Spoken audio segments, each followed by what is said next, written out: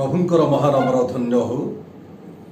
ପ୍ରଭୁ ଅନୁଗ୍ରହ କରି ମାଣ୍ଡଳିକ ଭାବରେ ପାରିବାରିକ ସନ୍ଧ୍ୟାକାଳୀନ ଉପାସନା କରିବା ପାଇଁ ସୁନ୍ଦର ସୁଯୋଗ ଦେଇଥିବାରୁ ମୁଁ ବିଶେଷ ପରମେଶ୍ୱରଙ୍କୁ ଧନ୍ୟବାଦ ଦିଏ ଏବଂ ଉପସ୍ଥିତ ମଣ୍ଡଳୀର ସମସ୍ତ ସାଧୁବୃନ୍ଦ ଭକ୍ତ ପ୍ରଭୁଙ୍କର ଦାସଦାସୀ ପୁଅ ଝିଅମାନଙ୍କୁ ମୋର ଆନ୍ତରିକ ଅଭିନନ୍ଦନ ସହ ନମସ୍କାର ଜଣାଏ। ସେହିପରି ଯେଉଁମାନେ ଅନଲାଇନ୍ ମାଧ୍ୟମରେ ପରମେଶ୍ୱରଙ୍କର ବାକ୍ୟ ଶ୍ରବଣ କରୁଛନ୍ତି ସେମାନଙ୍କୁ ମଧ୍ୟ ମୋର ଆନ୍ତରିକ ନମସ୍କାର ଜଣାଏ ଆସନ୍ତୁ ଏହି ସମୟରେ ଆମମାନେ ପ୍ରଭୁଙ୍କ ଚରଣ ତଳକୁ ଯାଇ ପ୍ରାର୍ଥନା କରିବା ପ୍ରାର୍ଥନା କରିବା ପ୍ରେମମୟ ଆମ୍ଭମାନଙ୍କର ସ୍ୱର୍ଗସ୍ଥ ପିତା ତୁମର ମହାନାମର ଧନ୍ୟବାଦ ପ୍ରଶଂସା ଗୌରବ କରୁଛୁ। ତୁମ ନାମର ସ୍ତୁତିବାଦ ଗୁଣାନବାଦ କରୁଛୁ। ଯେହେତୁ ଏ ସୁନ୍ଦର ସମୟଟି ତୁମେ ନିରୂପଣ କରିଥିଲ ଆଜିର ସନ୍ଧ୍ୟାଓଳିରେ ପ୍ରିୟ ପରିବାର ମଧ୍ୟରେ ମାଣ୍ଡଳିକ ଭାବରେ ତୁମର ସେବା ଆରାଧନା କରିବାର ଯେଉଁ ସୁଯୋଗ ଆମମାନଙ୍କୁ ଦେଇଛ ସେଥିପାଇଁ ଆମେ ତୁମର ଧନ୍ୟବାଦ କରୁଛୁ। ଆଜିର ଉପାସନାର ପ୍ରାରମ୍ଭରୁ ଶେଷ ପର୍ଯ୍ୟନ୍ତ ତୁମ ଉପସ୍ଥିତି ଦ୍ୱାରା ଆମମାନଙ୍କୁ ତୁମେ ପରିଚାଳିତ କର। ଆଜିର ବକ୍ତା ଶ୍ରୋତା ପ୍ରତ୍ୟେକଙ୍କୁ ତୁମେ ଆଶୀର୍ବାଦ କର। ଆଜିର ଉପାସନାକୁ ତୁମେ ନିୟନ୍ତ୍ରଣ କର। ଉପାସନାର କେନ୍ଦ୍ର ବିନ୍ଦୁରେ ତୁମେ ରହି ଗୌରବ ପାଅ। ପ୍ରିୟ ପ୍ରଭୁ ତୁମେ ସମସ୍ତ ପ୍ରାର୍ଥନା ଶୁଣିଲ। ଧନ୍ୟବାଦ ଦେଇ ପ୍ରଭୁ ଯୀଶୁ ଖ୍ରୀଷ୍ଟଙ୍କ ନାମରେ ପ୍ରାର୍ଥନା କରି ପିତ ଆମେନ୍। ଆସନ୍ତୁ ଏହି ସମୟରେ ଆଜିର ପ୍ରସଙ୍ଗ ନିମନ୍ତେ ଯେଉଁ ଅଂଶଟି ଆମମାନେ ପାଠ କରିବା ତା ଆପଣମାନେ ପାଇବେ। ଆଦି ପୁସ୍ତକ ତାର ସାତ ପର୍ବର ଏକ ପଦ। ଦେଖନ୍ତୁ ଲେଖା ଅଛି ଅନନ୍ତର ସଦାପ୍ରଭୁ ନହଙ୍କୁ କହିଲେ ତୁମ୍ଭେ ସପରିବାରରେ ଜାହାଜରେ ପ୍ରବେଶ କର। କାରଣ ଏହି କାଳର ଲୋକମାନଙ୍କ ମଧ୍ୟରେ ଆମ୍ଭେ ଆପଣା ସାକ୍ଷାତରେ ତୁମ୍ଭକୁ ଧାର୍ମିକ ଦେଖିଅଛୁ। ପ୍ରଭୁ ଆଜିର ପଠିତ ଅଂଶରେ ଶ୍ରବଣରେ ବିଶେଷମାନଙ୍କୁ ଆଶୀର୍ବାଦ କରନ୍ତୁ ଆମେନ୍ ଆସନ୍ତୁ ଏହି ସମୟରେ ଗୋଟିଏ ଗୀତ ମାଧ୍ୟମରେ ପରମେଶ୍ୱରଙ୍କର ପ୍ରଶଂସା କରିବା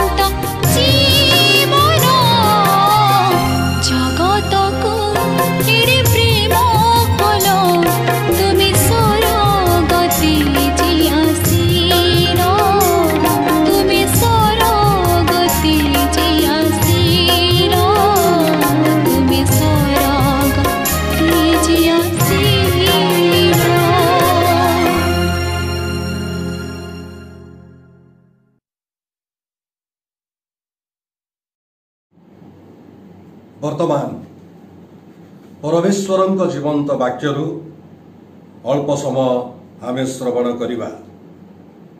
ଆମମାନେ ଆଦି ପୁସ୍ତକ ତାର ସାତ ପର୍ବର ଏକ ପଦ ପାଠ କରିଅଛୁ। ଆଉ ଏହି ସ୍ଥାନରେ ପରମେଶ୍ୱର ନହଙ୍କୁ ସେ ଆହ୍ୱାନ କରୁଛନ୍ତି ଜାହାଜ ମଧ୍ୟରେ ପ୍ରବେଶ କରିବା ନିମନ୍ତେ। ତେଣୁ ଆଜିର ବାକ୍ୟ ଅନୁସାରେ ଆମେ ଦେଖୁଛୁ ଅନନ୍ତର ସଦାପ୍ରଭୁ ନହଙ୍କୁ କହିଲେ ତୁମ୍ଭେ ସପରିବାରରେ ଜାହାଜରେ ପ୍ରବେଶ କର। ପ୍ରିୟ ମୋର ବନ୍ଧୁଗଣ ପରମେଶ୍ୱର କାହିଁକି ନହଙ୍କୁ ଏବଂ ତାଙ୍କ ପରିବାରକୁ ଜାହାଜରେ ପ୍ରବେଶ କରିବା ପାଇଁ ଆହ୍ୱାନ କରୁଛନ୍ତି? ଯେହେତୁ ଆଗକୁ ଜଳପ୍ଲାବନ ବା ଫ୍ଲଡ୍ ଆସୁଅଛି ଯାହାରି ଫଳରେ ନହଙ୍କ ପରିବାର ଯେପରି ସେମାନେ ବିନଷ୍ଟ ନ ହେବେ ଆଉ ସେଥିପାଇଁ ନହଙ୍କ ପରିବାର ଯେପରି ଜାହାଜରେ ସୁରକ୍ଷିତ ଭାବରେ ରହିବେ ସୁରକ୍ଷା ପାଇବେ ଆଉ ସେଥିପାଇଁ ପରମେଶ୍ୱର ନହଙ୍କୁ ସେ କ'ଣ କରୁଛନ୍ତି ଏ ସ୍ଥାନରେ ଆହ୍ୱାନ କରୁଅଛନ୍ତି ଯେହେତୁ ଇଂରାଜୀ ବାଇବେଲରେ ଯଦି ଆମେ ଦେଖିବା ଯେ ପରମେଶ୍ୱର ନହଙ୍କୁ ଜାହାଜ ମଧ୍ୟକୁ ସେ କ'ଣ କରୁଛନ୍ତି ନିମନ୍ତ୍ରଣ କରୁଛନ୍ତି ମୋର ପ୍ରିୟ ବନ୍ଧୁଗଣ ତେବେ ପରମେଶ୍ୱର ନହଙ୍କୁ ଆଦେଶ ନ ଦେବା ପର୍ଯ୍ୟନ୍ତ ନହ ଜାହାଜ ମଧ୍ୟରେ ପ୍ରବେଶ କରିନଥିଲେ।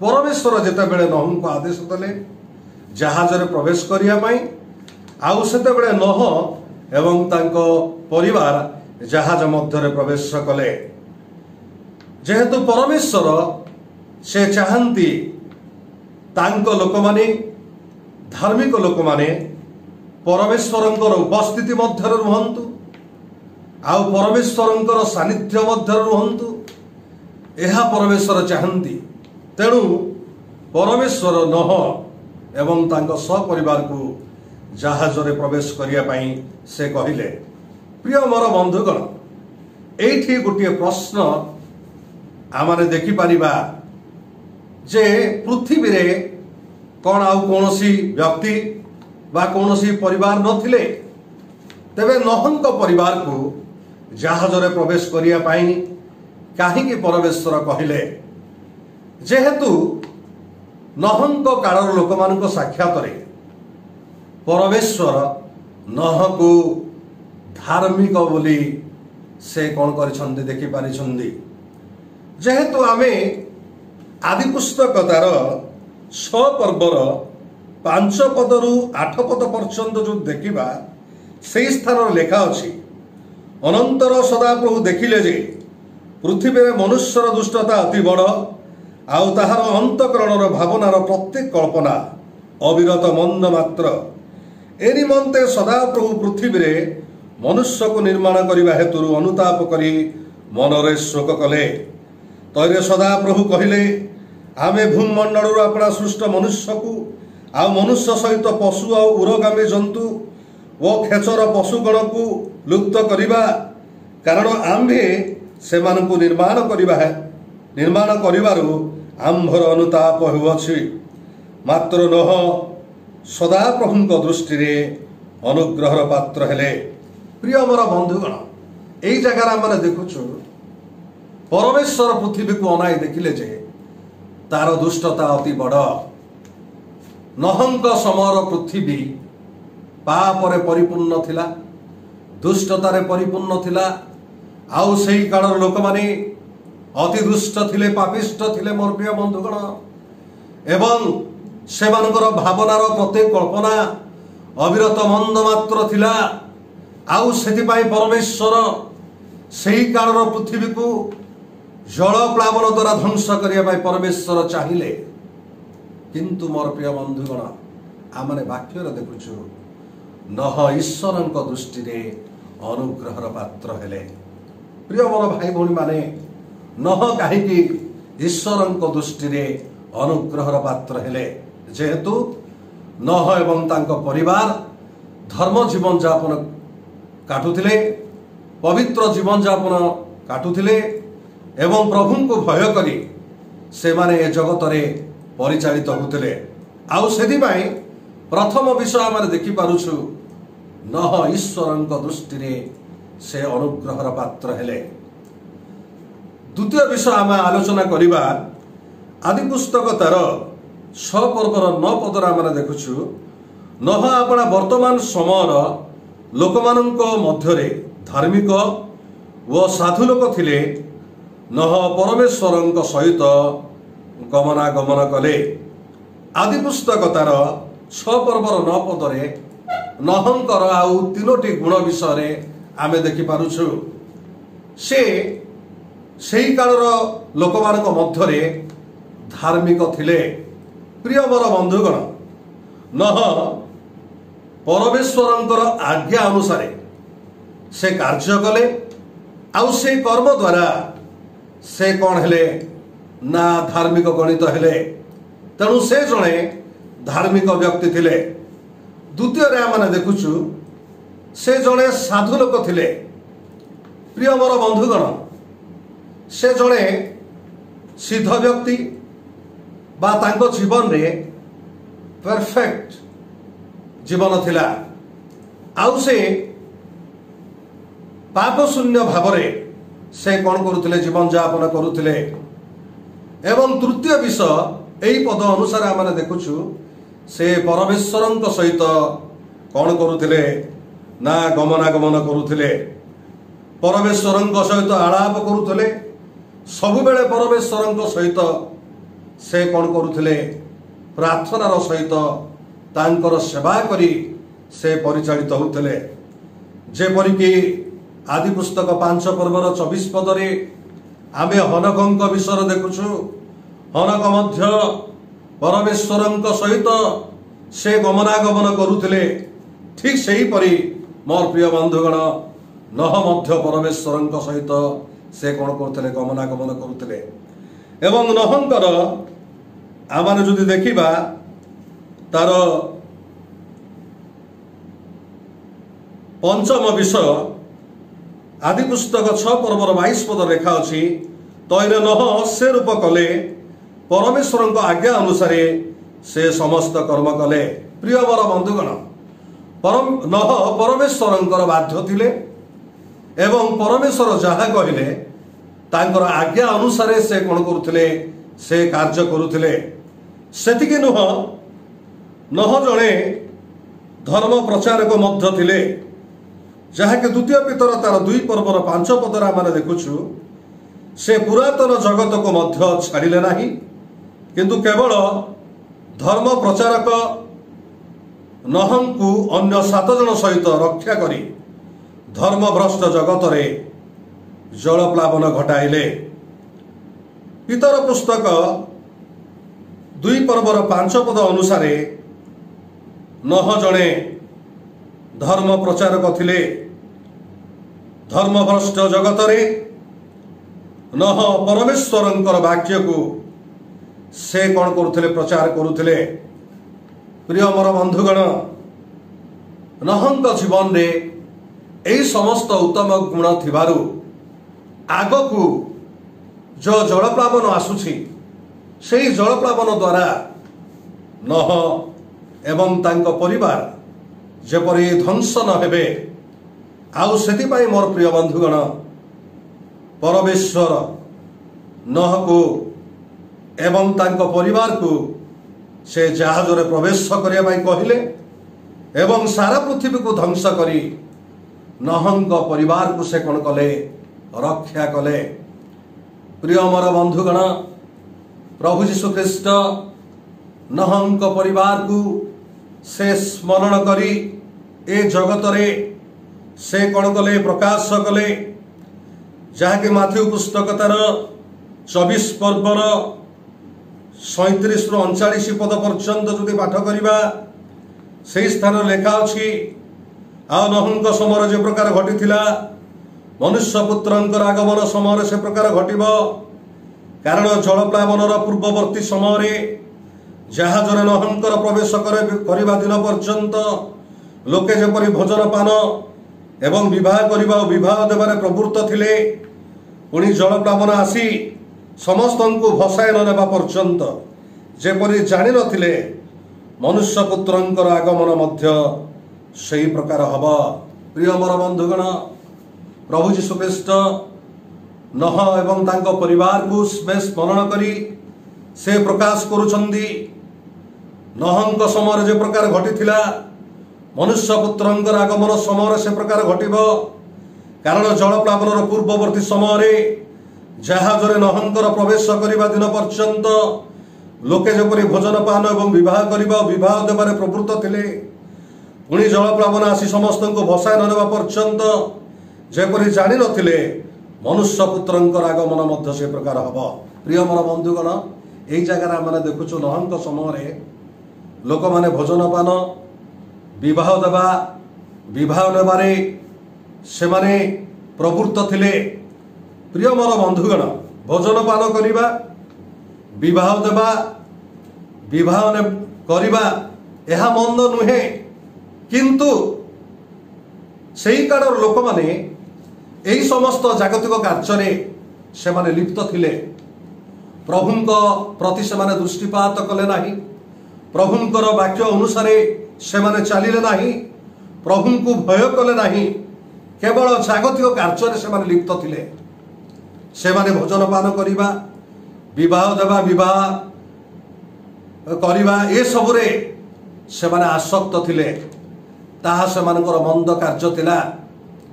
ତେଣୁ ମୋର ପ୍ରିୟ ବନ୍ଧୁଗଣ ବର୍ତ୍ତମାନ ପୃଥିବୀ ମଧ୍ୟ ପୃଥିବୀ ମଧ୍ୟରେ ବି ଆମେ ଦେଖୁଛୁ ବର୍ତ୍ତମାନ ପୃଥିବୀରେ ପାପ ପୃଥିବୀଟି ପରିପୂର୍ଣ୍ଣ ହେଇଛି ପାପରେ। ତେଣୁ ମୋର ପ୍ରିୟ ବନ୍ଧୁଗଣ ଏହି ପୃଥିବୀକୁ ମଧ୍ୟ ପରମେଶ୍ୱର ଗୋଟିଏ ଦିନ ଧ୍ୱଂସ କରିବେ। ତା ପୂର୍ବରୁ ମୁଁ ଆଉ ଆପଣମାନେ ଏ ଜଗତର ମନ୍ଦତାରୁ ପୃଥକ ହୋଇ ନହ ଯେପରି ଧାର୍ମିକ ଜୀବନଯାପନ କରୁଥିଲେ ଈଶ୍ୱରଙ୍କ ସହିତ ଗମନାଗମନ କରୁଥିଲେ ଆଉ ସେ ସିଦ୍ଧ ଭାବରେ ଜୀବନଯାପନ କରୁଥିଲେ ସେହିପରି ଭାବରେ ଏ ଜଗତରେ ଧର୍ମ ଜୀବନଯାପନ କରି ପରିଚାଳିତ ହେବା ଦ୍ୱାରା ନହ ଯେପରି ଏବଂ ତାଙ୍କ ପରିବାର ଯେପରି ଜଳପ୍ଲାବନ ଦ୍ୱାରା ବିନଷ୍ଟ ନ ହୋଇ ରକ୍ଷା ପାଇଲେ ସେହିପରି ମଧ୍ୟ ପ୍ରିୟ ମୋର ବନ୍ଧୁଗଣ ମୁଁ ଆଉ ଆପଣମାନେ ଏ ଜଗତର ରକ୍ଷା ପାଇବା। ଯେହେତୁ ନହଙ୍କ ସମୟରେ ପରମେଶ୍ୱର ଦୀର୍ଘ ସହିଷ୍ଣୁ ହୋଇ ଲୋକମାନଙ୍କୁ ଅପେକ୍ଷା କରୁଥିଲେ ମନ ପରିବର୍ତ୍ତନ କରିବେ ବୋଲି କିନ୍ତୁ ସେହି ଲୋକମାନେ ମନ ପରିବର୍ତ୍ତନ କଲେ ନାହିଁ ଏବଂ ସେମାନେ ଈଶ୍ୱରଙ୍କ ବିରୁଦ୍ଧରେ ପାପ କଲେ ଦୁଷ୍ଟତାର କର୍ମ କଲେ ଯାହାରି ଫଳରେ ଆଉ ସେମାନେ ରକ୍ଷା ପାଇପାରିଲେ ନାହିଁ ନହଙ୍କ ସମୟର ପୃଥିବୀ ବିନଷ୍ଟ ହେଲା କିନ୍ତୁ ପ୍ରଭୁ ନହ ଏବଂ ତାଙ୍କ ପରିବାରକୁ କ'ଣ କଲେ ରକ୍ଷା କଲେ ଆସନ୍ତୁ ଏଇ ଦିନ ମାନଙ୍କରେ ପୃଥିବୀ ମଧ୍ୟକୁ ଯେଉଁ ସମସ୍ତ ସମସ୍ୟା ଆସୁଛି ସେ ସମସ୍ୟାରୁ ଉଦ୍ଧାର ପାଇବା ପାଇଁ ପରମେଶ୍ୱରଙ୍କ ଚରଣ ତଳେ ନିଜ ନିଜକୁ ସମର୍ପଣ କରି ଏ ଜଗତରେ ପବିତ୍ର ଭାବରେ ବଞ୍ଚିବା ନିମନ୍ତେ ଚେଷ୍ଟା କରିବା ପ୍ରଭୁ ଆଜିର ଅଳ୍ପ ବାକ୍ୟରେ ଆମମାନଙ୍କୁ ଆଶୀର୍ବାଦ କରନ୍ତୁ ଆମେନ୍ ଆସନ୍ତୁ ପ୍ରାର୍ଥନା କରିବା ପରମ ଧନ୍ୟ ପୂଜ୍ୟ ପିତା ପୁନର୍ବାର ତୁମର ମହାନାମର ଧନ୍ୟବାଦ କରୁଅଛୁ ତୁମ ବାକ୍ୟ ଦ୍ୱାରା ଆମମାନଙ୍କୁ ତୁମେ କଥା କହିଛ ଅନଲାଇନ ମାଧ୍ୟମରେ ଯେଉଁମାନେ ତୁମର ବାକ୍ୟକୁ ଶ୍ରବଣ କରୁଛନ୍ତି ସେମାନଙ୍କୁ ତୁମେ ଆଶୀର୍ବାଦ କର। ପ୍ରିୟ ପ୍ରଭୁ ମଣ୍ଡଳୀର ପ୍ରତ୍ୟେକ ପରିବାରକୁ ଆଶୀର୍ବାଦ କର। ମଣ୍ଡଳୀରେ ଯେତେ ବୃଦ୍ଧ ବୃଦ୍ଧା ଅସୁସ୍ଥ ଅବସ୍ଥାରେ ଅଛନ୍ତି ସେମାନଙ୍କୁ ସୁସ୍ଥ ସବଳ କରି ସୁରକ୍ଷିତ କର। ବିଶେଷ ଅଲଗା ପ୍ରଧାନ ମାଙ୍କର ଶରୀର ଅସୁସ୍ଥ ରହିଛି। ପ୍ରିୟ ପ୍ରଭୁ ତୁମେ ତାଙ୍କୁ ଆପଣାର ବାକ୍ୟ ପଠାଇ ଆରୋଗ୍ୟତା ଦାନ କର। ସେହିପରି ସ୍ୱାଇଁ ବାବୁଙ୍କର ଶରୀର ଅସୁସ୍ଥ ରହିଛି ତାଙ୍କୁ ମଧ୍ୟ ତୁମେ ସୁସ୍ଥତା ଦାନ କର। ସେହିପରି ଆହ୍ୱାନ ପୁଅଙ୍କର ଶରୀର ଅସୁସ୍ଥ ରହିଛି ତାଙ୍କୁ ମଧ୍ୟ ତୁମେ ସୁସ୍ଥତା ଦାନ କର ସେହିପରି ମଣ୍ଡଳୀରେ ଅନେକ ଅସୁସ୍ଥ ଭାବରେ ଅଛନ୍ତି ସେମାନଙ୍କୁ ମଧ୍ୟ ତୁମେ ଆରୋଗ୍ୟତା ଦାନ କର ପ୍ରିୟ ପ୍ରଭୁ ତୁମେ ସମସ୍ତ ପ୍ରାର୍ଥନା ଶୁଣିଲ ଧନ୍ୟବାଦ ଦେଇ ପ୍ରଭୁ ଯୀଶୁ ଖ୍ରୀଷ୍ଟଙ୍କ ନାମରେ ପ୍ରାର୍ଥନା କଲି ପିତ ଆମେନ୍ ଏତେବେଳେ ପିତା ଈଶ୍ୱରଙ୍କ ଅସୀମ ପ୍ରେମ ତ୍ରାଣକର୍ତ୍ତା ପ୍ରଭୁ ଯୀଶୁ ଖ୍ରୀଷ୍ଟଙ୍କ ଦୟା ଏବଂ ଅନୁଗ୍ରହ ପବିତ୍ର ଆତ୍ମାଙ୍କ ଚିରନ୍ତର ପ୍ରେମ ଶାନ୍ତି ସହଭାଗିତା ବିଶେଷ ଆମ୍ଭମାନଙ୍କ ପ୍ରତି ସଦା ସର୍ବଦା ସଙ୍ଗେ ସଙ୍ଗେ ବନ୍ତୁ ପିତା ଆମେନ୍